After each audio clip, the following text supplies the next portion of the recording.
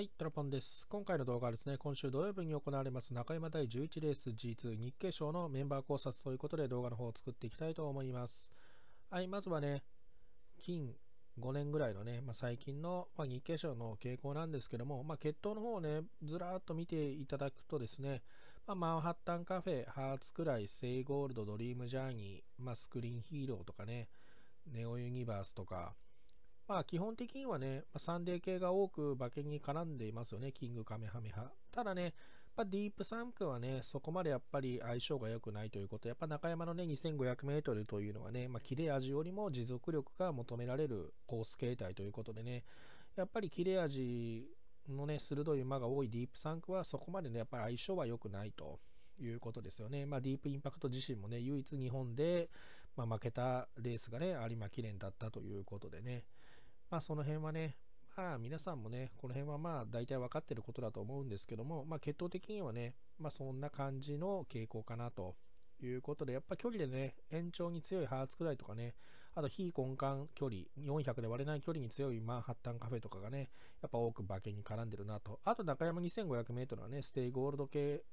ですよね、まあ、ステイゴールド系がよく絡むということもね、まあ、結構有名だと思うんですけども、やはりそういった傾向がま有利な、あの、コースなのかなと。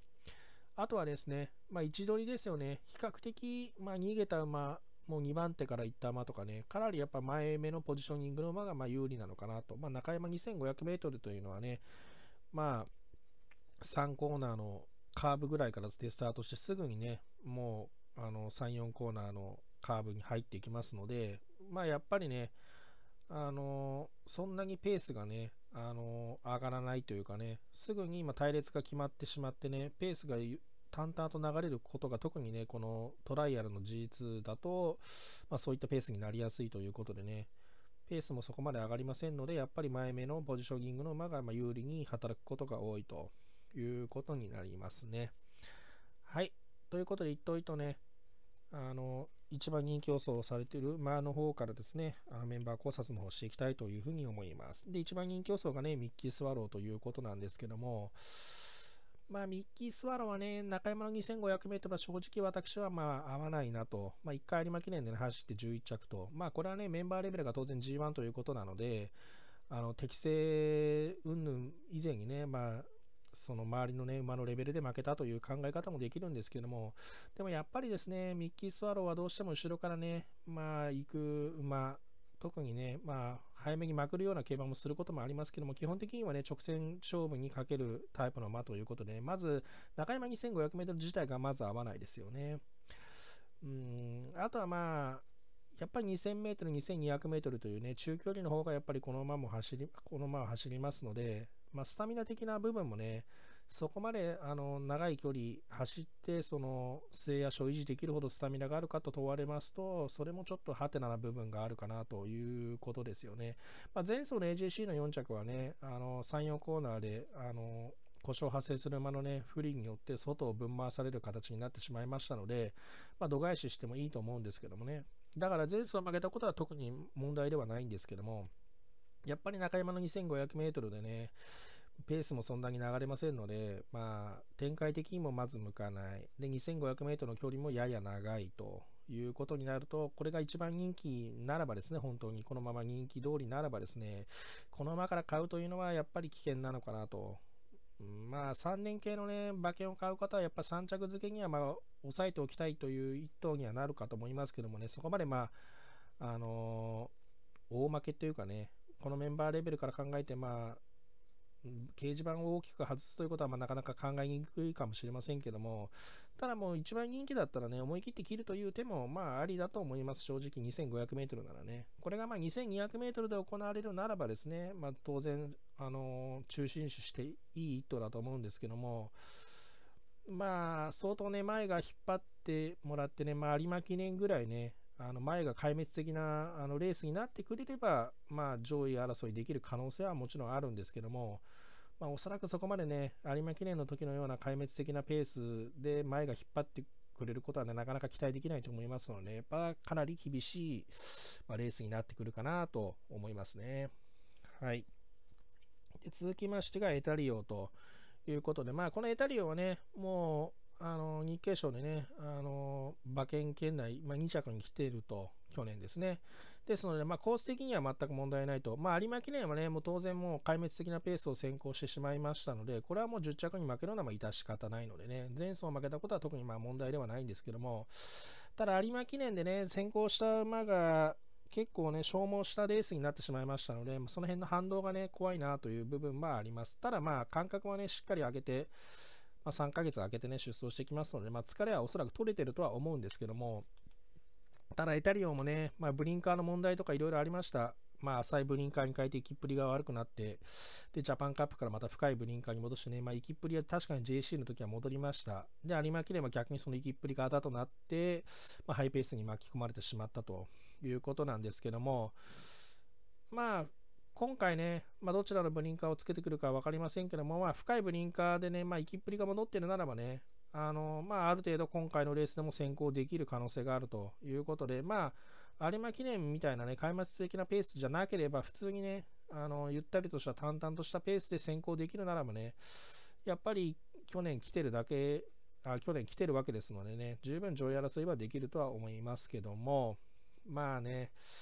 まあ、なかなかね、最近このずっと、まあ、馬券圏外を外してるね、あのリズムがね、良くないというのがね、やっぱりなかなか買いにくいとは思うんですけどもね、まあ、ただ前走、前々走ともに G1 だし、まあ、京都大商店からね、まあ、天皇賞春まではその浅いブリンカーだったということでね、まあ確かに全部度外視できるといえば度外視できるんでね、まあ久々にね、1年ぶりにま馬券圏内に来れるチャンスかなというふうには思いますね。はい。で続きまして3番人気予想がモズベッロということで、まあ、モズベッドは前走ね、まあ、3勝クラスの身でありながら、まあ、日経新州杯、G、重賞ですよね、G1、あ G2 に、まあ、出走してきて、まあ、見事1着と、まあ、確かにハンデ52キロとね、まあ、軽い斤量ではありましたけども、まあ、それでもね、3勝クラスの身であったということでね、あのー、まあ、格上げ初戦というよりも、まあ、もう、一つ上のクラスのね、しかもオープンというね、オープン特別ではなく重賞を勝ちましたのでね、まあ、一気にそれでまオープン入りしたということになりました。まあ、ただね、グレートフルステークス前々走の4着ですけども、これはもう完全にね、展開で負けた感じでしたのでね、まあ、実力で負けた4着ではなかったんでね、おそらくグレートフルステークスもうまくね、あのー、レースが、ま例えばある程度流れて、あそこまでね、後ろが不利な展開になってなかったり、まあ、もう少し先行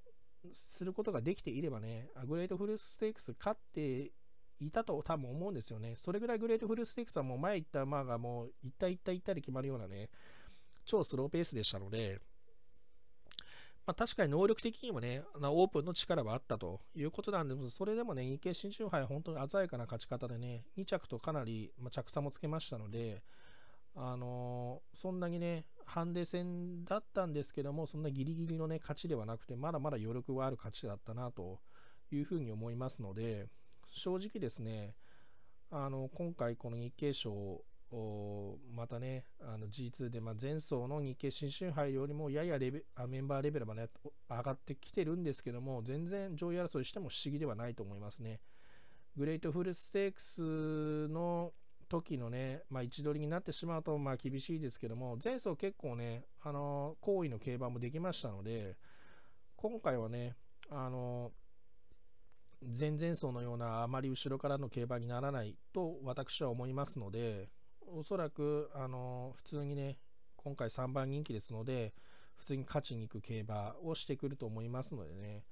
これも私は勝ち負けできるんではないかなというふうに思います。距離もね、あの前走のレースを見る限り 2400m、500m と全く心配ありませんしね、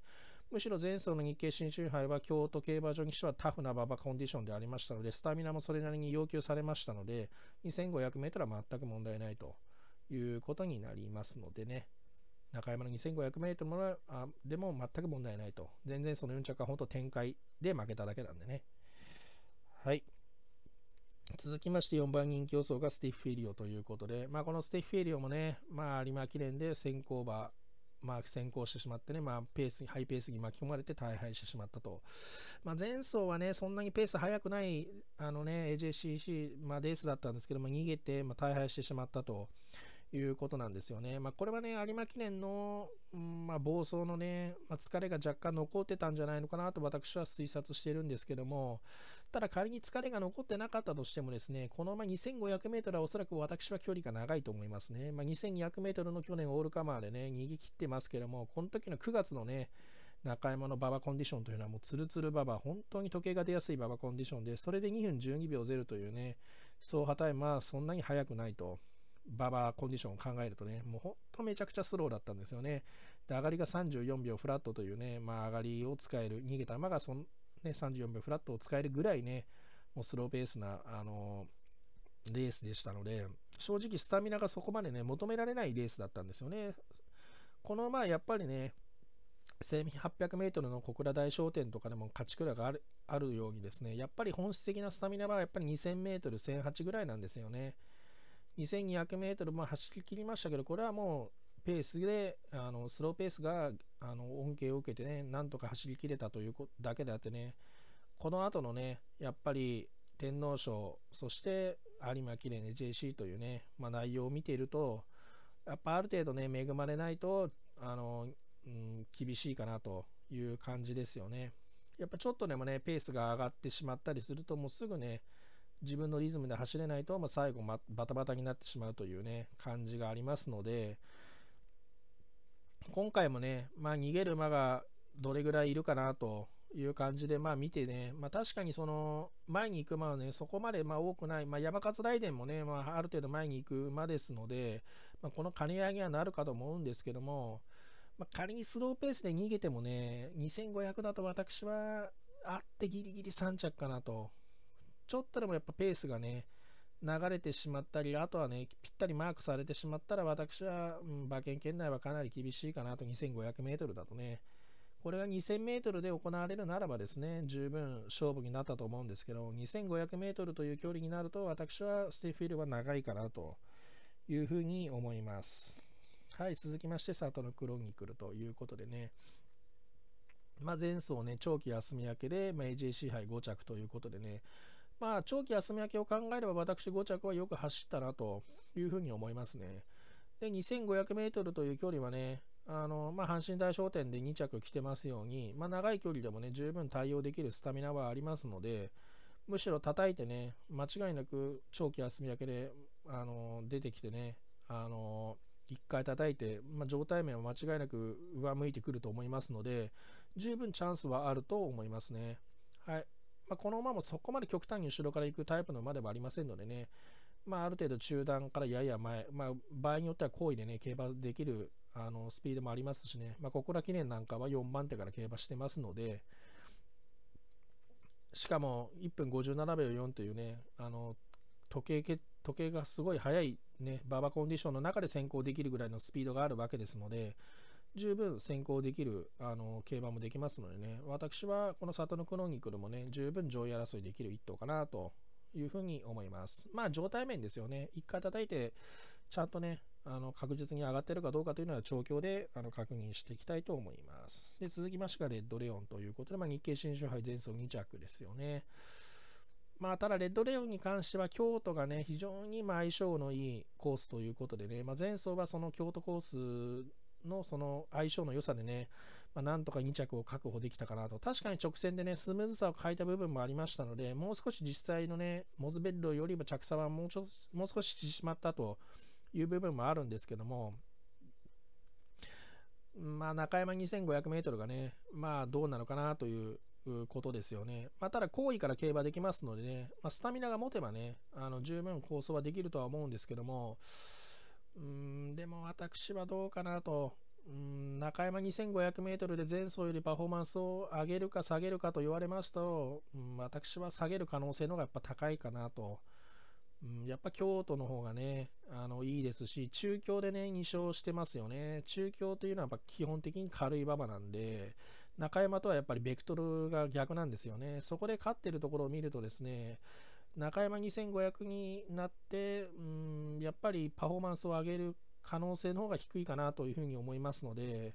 そう考えるとね、やっぱりこの馬もギリギリ3着取れるか取れないかの、まあ、争いかなというふうに私は今のところは思っております。はい、続きまして7番人気予想がクレッシェンドラブということでね。はい、クレッシェンドラブね。はい、このままね、中山中山の馬場自体はね、非常に私は合うと思うんですけども、2500メートルという距離が果たしてどうなのかなと、まあ、この馬はかなり後ろからね、行くタイプの馬ですので、やはりこの馬も展開はかなり手助けが必要かなと、やっぱある程度前がね、引っ張ってね、前がかなり潰れるような展開になってくるとね、対等してくるんですけども、2500メートルという距離は私はやっぱりこの馬はね、ちょっと距離が長いかなというふうに思いますね。やっぱベストは中山、福島2000メートル。で、ある程度ちょっと内のね、内目の馬場がちょっと荒れてきてですね、外差し傾向になったのが一番ベストの馬かなというふうに思いますのでね。うん、この馬も普通に 2500m、中山 2500m 特有のね、淡々とスローペースで流れて、レースがま進んでしまうと、やっぱり厳しいかなと。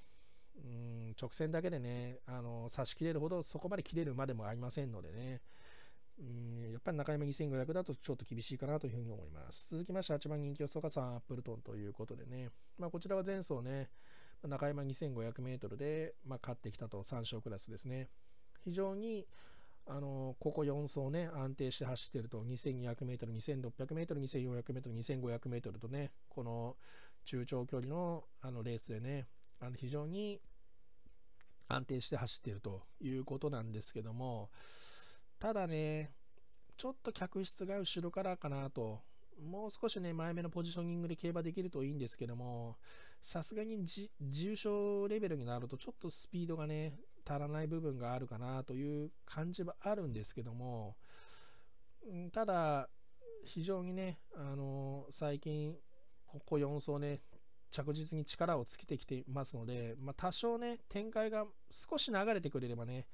まあ、チャンスはあるかなとは思うんですけども、やっぱりこれもスローペースになってしまうと、やっぱ厳しいかなという感じはしております。ただまあ、ここ4走すべて上がり1位のね、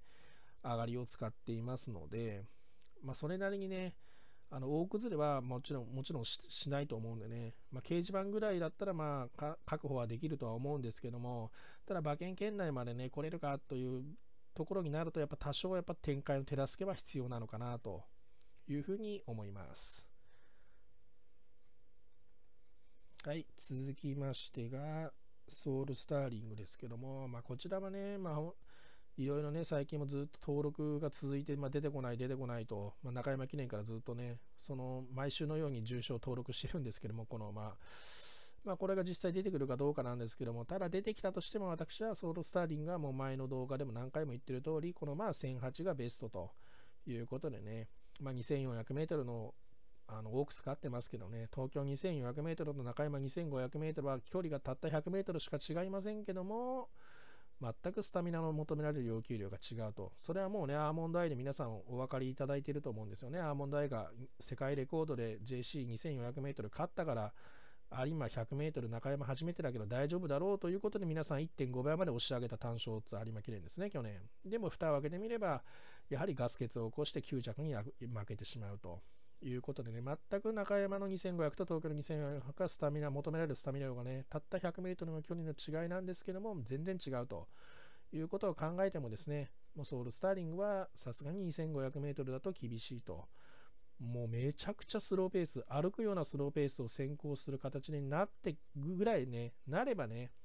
まあ、可能性はあるかもしれませんけど、まあそこまでのスローはおそらくなりませんので、まあ普通に考えたら無理かなというふうに思います。はい、続きましてがウィン・イクシードということでね、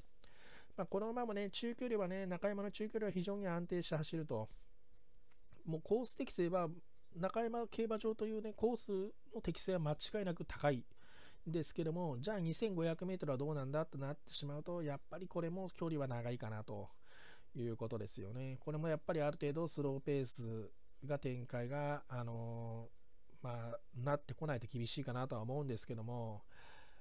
まあ、ただね、スローペースで仮に行ったとしてもね、うん、まあ、やっぱり500メートル距離が伸びてしまうとね、そこからウィン・イクシード本来の足が使えるかなと考えると、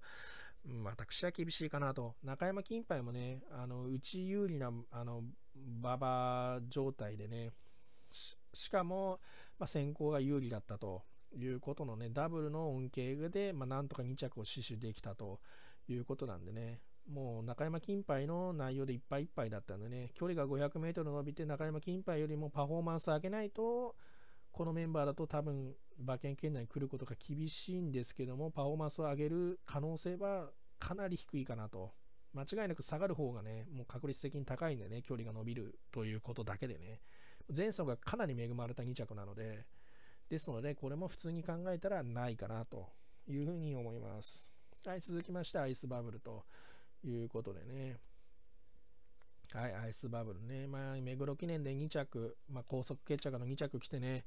まあ、この時はすごい勢いがあってよかったんですけども、結局その激走の反動からかね、その後はまあ馬券圏内に来ていないと、まあ、掲示板にすら乗れないと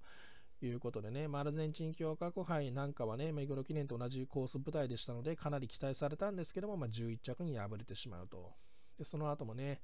まあ、中日新聞杯、万葉ステークスと1番人気、3番人気と結構ね、人気を背負ってるんですけども、まあ、パフォーマンス的にはね、全く、ま発揮できないということなんですけども、まあ、中山 2500m でね、まあ、2500m と距離で、まあ、目黒記念で2着なんでね、まあ、この距離にすがりたい気持ちはわかるんですけども、このまま中山はあまり向かないかなという感じですよね。やっぱ京都、東京、京都、東京とね、ゴール前に坂のないところでやっぱり成績は残していると、小倉もそうですしね、中京もそう。ですのでね、やっぱり中山はトリッキーなね、コースですので、まあ、中山をね、で復活したいという気持ちはあるとは思うんですけども、まあ、これも厳しいかなと、まあ、最近の流れを見てもね、ちょっとまあ、リズムが悪くなっちゃったかなと、目黒記念の後ね、うん、やっぱそれぐらいね、もう激しい反動が出るぐらいの決着タイムだったと、2分28秒4ね。そう、この目黒記念は本当に時計が出やすい馬場コンディションでね、まあ、それでもやっぱりかなりタフなね、レースでしたのでね、その後の反動で結構やっぱり馬が、うん、壊れてしまったとは言いませんけども、ちょっとそこでリズムを崩してからはちょっとね、アイスバブル本来のパフォーマンスが出せなくなっているかなというふうに私は思いますね。まあ、あとはディープインパクトが1回崩れるとなかなか立ち直れないということは私の動画を見ていると、見ている方はまあ分かっ、まあ、何回もね、話してるんで分かってると思うんですけども、まあ、その典型的なパターンですよね。調子のいい時はディープインパクトというのは非常に成績は安定するんでも、一回崩れ出すとね、止まらないんですよね。で、やっぱコバになってくるとディープインパクトの、特にボバですよね。ボバのコバになってくると、一回崩れると本当に戻ってこないと。いうことでね、まあ、マカヒキとか里のダイヤモンドとか、まあ、結構象徴的な、まあ、いると思うんですけども、まあ、やっぱりね、4歳ぐらいまではね、結構安定して走るんですけども、5歳になって崩れ出すと一気に崩れると、ボバは。牝馬はね、それでもまだ結構息の長い馬がいるんですけども、ボバになってしまうとなかなか難しいという点もですね、血統の背景からもそういう傾向が見られてきたのでね、やはりこれは厳しいかなと、アイスバブルも。で、続きましてが頑固ということでね、はい、頑固も最近のね、成績を見ると、まあ厳しいかなと、まあ日経賞ね、2年前勝ってますけども、まあその頃の出来には当然ないですよね。日経賞勝った後はもう、結局ね、1回も掲示板にすら乗れない状況ということでね、まあこれも普通に考えたら厳しいかなということですよね。まあよっぽどね、あの直前の調教であのそのとあの状態のいい時の、ね、動きに戻ったとかいうことが何何かし何らかしらのね変わり身を期待できるものがあれば、ね、いいんですけどもね、まあ、最近の流れから来ると、まあ、厳しいかなというふうに思いますね。続きましてがポンデザールということで、はい、こちらもね、まあ、ずっと4連勝して、まあ、入り場ではね、まあ、G1 の壁に、ま阻まれて、その後愛知杯でね、ま、12着に負けてしまったということなんですけども、ただね、このまま連勝してきたとき 2600m、2400m、2600、2600ということでね、まあ、長い距離であの連勝してきたと。で、エリザベス女王杯は当然 2200m で距離が短い上にですね、この時はもうめちゃくちゃ上がり勝負になってしまって、まあ、前に行った馬か、まあ、内にこだわった馬しかね、来れる馬場じゃなかったと。来れるレースじゃなかったということで、まあ、これはもう度外視できる。で、愛知杯も距離が2000メートルで、まあ、馬場コンディションも重馬場だったということでね、あのまあ、これも度外視できるということなんで、やっぱり一度ね、あもう一回その連勝してきた時の距離に近い距離ですよね、2500メートル。このレースでね、まあ、十分その変わり身は期待できるかなということなんですけども、ただ客室はね、後ろから行く客室なので、これが重症レベルになってしまうとね、やっぱり後ろからそこまでね、あの条件クラスの時のような簡単には、まあ、まくって勝てるレースでは、レベルではないんでね、まあ、ただ距離がね、2500になることはプラスなので、まあ、人気がここまでないならね、まあ、3連携の馬券買う方は、ま3着候補ぐらいになったらね、まあ、買ってもいいんじゃないのかなというふうには思いますね。はい、続きましてが山勝雷電ということで、まあ、8歳馬ですよね。まあ、山勝雷電。まあね、距離的には全く問題ないんですけどもね、まあ、最近の流れを見てると、もうここしばらくね、ずっと掲示板にすらね、載ってないということで、まあ、普通に考えたらね、結構厳しいかなというふうに思いますね。まあ、この馬が行くのか、まあね、あのー、先ほど最初あったステフィリオが行くのかどうかは分かりませんけども、まあ、仮に山勝雷電がね、めちゃくちゃスローに落として逃げたとしてもね、まあ、厳しいとは思いますね、普通に考えて。はい、続きましてが最後ですね、マイネル・カレッツァということで、はい、こちらの馬はね、まあ、3勝クラスのみで、3勝クラスでね、もう5走連続負け続けているということでね、まあ、先行できる馬なんですけども、ただまあ、スローペースで、ね、結構恵まれたレースも中にはあったんですけども、それでもやっぱ最後ね、簡単に後ろからの馬に差し込まれてしまうという現状でですね、まあ、重傷になって、まあ、粘れるという可能性はもうほぼないということで、この馬も厳しいかなというふうに思います。はい、ということでね、まあ、15頭メンバー考察してきましたけども、まあ、一番人気要素のミッキー・スワローは距離に不安がある。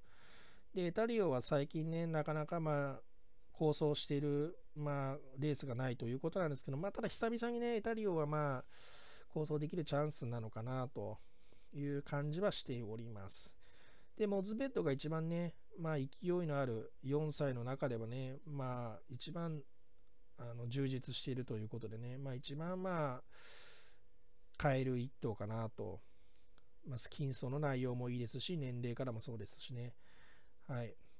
ですので、まあ、普通に考えたら私はエタリオかモズベッド、この2頭どちらが軸にするかというのがですね、まあ、今のところはですね、まあ、正しいんじゃないのかなというふうに思います。まあ、最終見解はね、あの金曜日の夜から土曜日の朝方にかけてね、動画の方を作って、まあ、配信、アップしていきたいと思いますので、よろしくお願いします。ということでね、今回の動画は土曜日に行われます中山第11レース G2 日経賞のメンバー考察ということで動画の方を作ってきました。以上になります。